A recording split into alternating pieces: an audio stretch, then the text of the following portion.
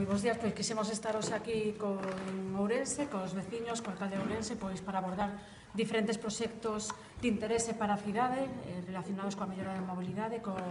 reforzo e mellora da seguridade viaria. Eh, entre eles estamos a falar bueno, dunha unha actuación o certo, que é moi importante, moi dialogada e moi consensuada cos veciños, co Concello, para, para actuar eh, na zona de, de Seixalvo. Estamos a falar dunha mellora integral na U105 eh, na zona de Seixalvo, eh, unha mellora que trae como demandaban os veciños ao longo dun 1,5 de kilómetro e medio eh, nesta estrada eh, unha actuación que repercutirá na reordenación do tráfico, na mellora da mobilidade, estamos a falar de mellorar o acceso eh, o cruce en Seixalvo, eh, executar carrís de espera, eh, reordenar, executar novas plazas de aparcamento, reordenar e mellorar as paradas de autobús, eh, tamén reordenar os pasos de peóns, eh, pasos de peóns con semáforos con pulsador, con iluminación espe específica tamén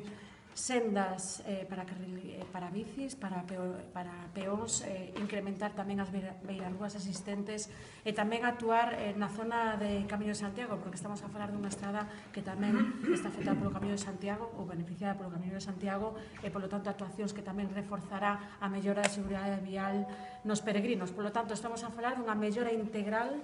eh, da U105 na zona de Seisalvo, Salvo,